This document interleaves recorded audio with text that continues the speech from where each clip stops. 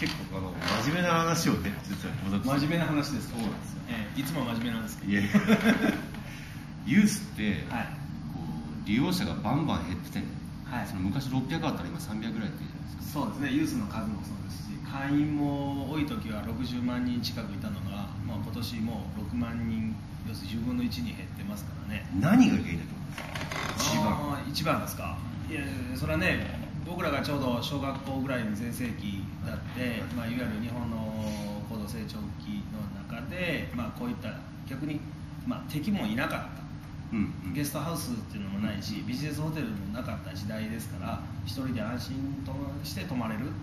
でそしてあの安くあげて、えーこうみんながいるところに、はい。うん、あの泊まって楽しく過ごすっていうのが逆に楽しかったはい。若者たちですよね、はい。僕らの上の世代、それが逆にユースも良かったんですけども僕ら、まあ、ペアレントっていうじゃないですか、はい。マネージャーじゃなくて、はい。まあ、親と、はい。まあ、親だから。はい。えー言うこと聞けっていうペアレント側の態度も一つやっぱり昔は受け入れられたけど、うん。だんだん受け入れられなくなったり。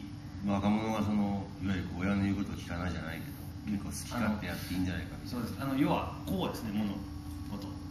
上から下に言うような言い方ですね。それもあのおっちゃんおばちゃんのわがまま。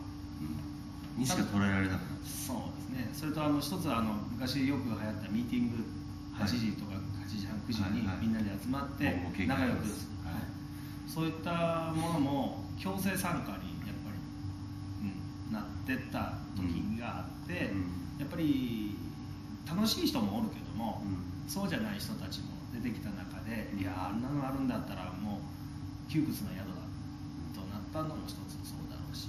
逆になんていうんですかや例えば旅に出てねうん。外に出てるのに自分の部屋に引きこもりっていうか引きこもっちゃうっていう。か、そうですね。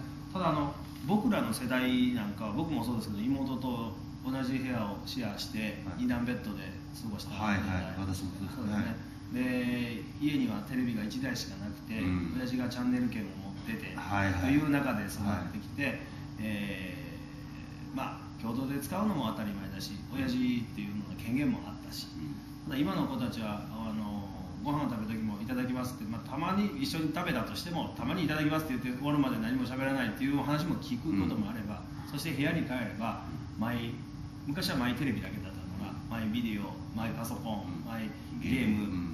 で全部ある、昔は僕らは貧しかったからクーラーも今しかなかったら夏は暑かったら今にいないとクーラーがいい時代でしたからね。まあ、そういうことを見せればこの方が楽っていう中で、うん。こういう共有シェアするうん。宿っていうのの使い方が多分分かんないんだと思うんです嫌いっていうよりか食わず嫌いだと僕は思い経験したことがない。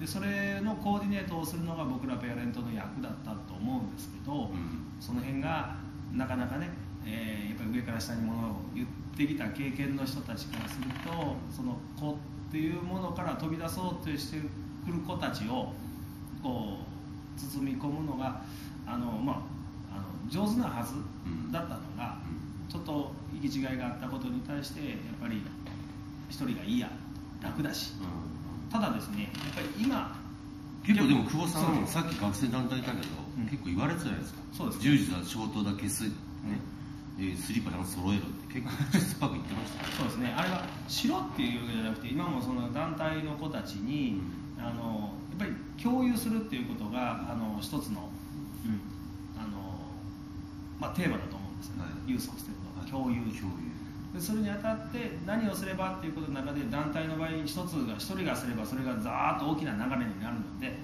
そうじゃなくてやっぱり外へ出て、まあ、あのユースの昔の4つの誓いじゃないですけど、はい。その知らない未知の世界を訪ねて見聞を広めると、うん。まあ、逆に合宿で来てたとしても、うん。やっぱり誰かが言ってするとそれで気づいて、うん。次回からやってくれれば、と思うしあの逆に個人の人にそんなにやかましく僕は言いませんけどね、はいはいはい。うん、やっぱりグループの場合は多数がね少数をもともと数の時点で圧倒してるので、まあ、そのさっきの学校のその引率の先生はい話してたんですけど、そのユースだからそうですね。あのよく先生があの郵送するだからこうしあのこうしなきゃいけないんだぞと、うん。自分のことは自分でしなきゃいけないんだと、使ったものは元に戻さなきゃいけないんだと。ユースだから。だから。